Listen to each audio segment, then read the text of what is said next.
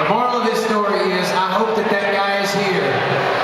Uh, fella, I don't know who you are, but you got you got dog cussed in Chattanooga, and I apologize. Are you here? The reason why he got mad at me is